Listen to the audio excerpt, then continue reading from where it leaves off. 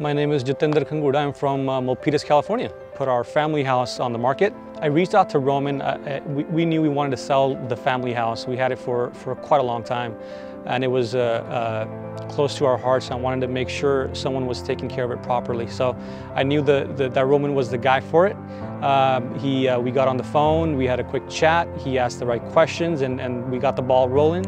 and within a week, we had the house on the market and within eight days, it was sold.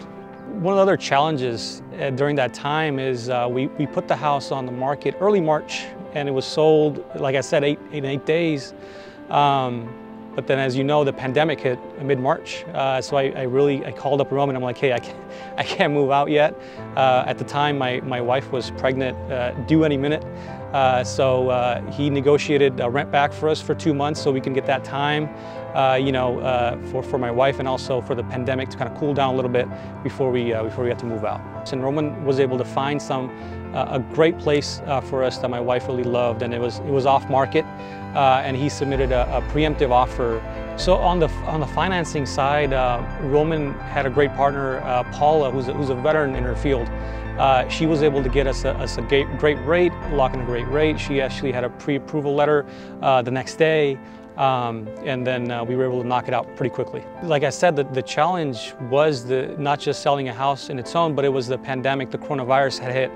And uh, it, was, it was such a relief to kind of put everything on Roman. He coordinated all the showings. He got, you know, uh, in a day about 20, 20, 20 or 30 uh, people to go in and, and uh, open house. We actually did a couple open houses and we, we got the right offer above the asking price.